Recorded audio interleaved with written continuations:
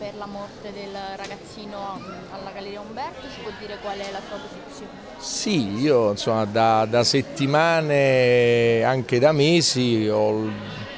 dovuto leggere sui giornali che avvocati, oppositori politici hanno presentato un esposto nominativo nei miei confronti, pur sapendo perfettamente che sono completamente estraneo dal punto di vista penale in questa vicenda, anzi che noi siamo parte civile in quel processo,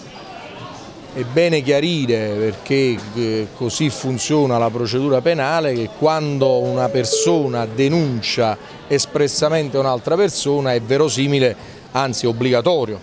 che questa persona venga iscritta nel registro di indagati. Allora come ogni cittadino ho fatto istanza ai sensi del 335 del codice di procedura penale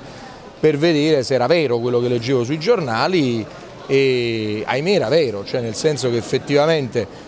è stato presentato questo esposto nominativo contro il sindaco di Napoli, ho scoperto di essere stato quindi iscritto doverosamente da parte della magistratura nel registro di indagati, siccome sono un uomo delle istituzioni e siccome sono completamente estraneo a questa vicenda, mi sono recato dai magistrati e ho esposto con molta chiarezza le ragioni per le quali Sindaco di Napoli è parte civile in questo procedimento e non è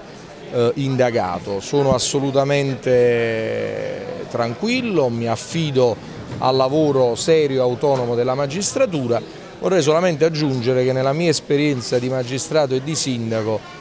un tal livello di inqualificabilità non mi era mai capitato di assistere, cioè che oppositori politici travestiti da avvocati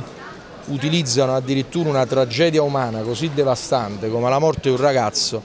per fare eh, campagna politica e colpire un avversario politico. Mi fermo qua perché poi per il resto sta tutto nelle mani della magistratura